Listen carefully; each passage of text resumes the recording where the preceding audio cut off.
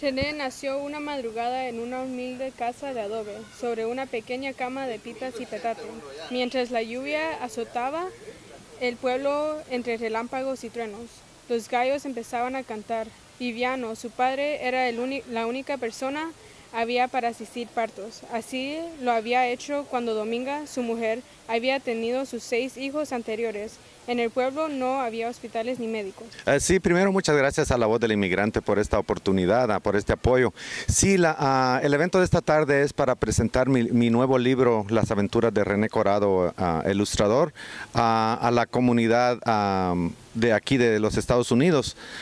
el libro es un libro ilustrado y también es bilingüe.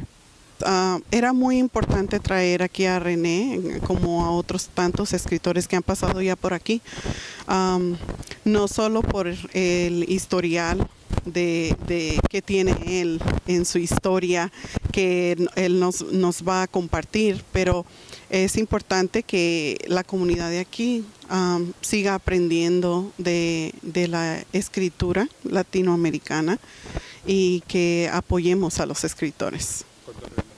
Cuando Rebeca, ah, su representante, se comunicó conmigo y me habló sobre la obra de René, creo que se me hizo muy importante porque habla de su trayectoria, su jornada, algo personal que él pasó, como tantos latinos, tantos latinoamericanos, que pasan por una etapa muy difícil y al, final hacen mejoran en su vida. Entonces creo que es algo que la gente debe de escuchar, que si tienen sueños, que la vida ha sido para muchos de ellos muy difícil, pero que varios de ellos pueden, pueden lograr sus metas.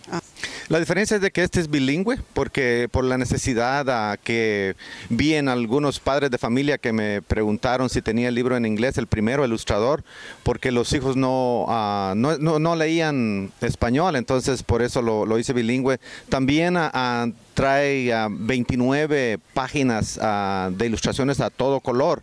Y el vocabulario también es, ah, es un poco ah, más para niños, pero digo que el libro es de, de para niños de 1 a 100 años. Fue, uh, fue un poco complicado uh, y lo complicado, bueno, el vocabulario y también uh, tener los, los dos textos en español y exacto en inglés, eso fue lo que, lo que me llevó mucho tiempo. Yo lo, lo traduje a inglés y luego le pedí favor a mi amiga, la doctora Linnea Hall, que pues que me lo revisara, que me lo editara, pero eso fue lo, lo que me, me, costó más. Sí fue un poco, un poco difícil, pero fue muy emocionante.